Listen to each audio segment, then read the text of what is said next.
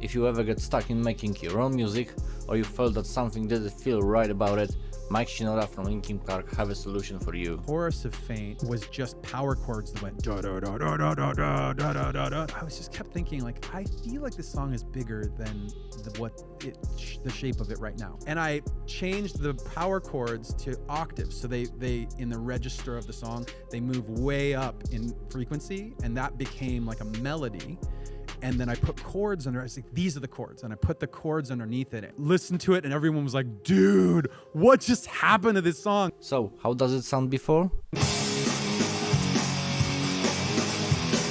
And this is how it sounds after.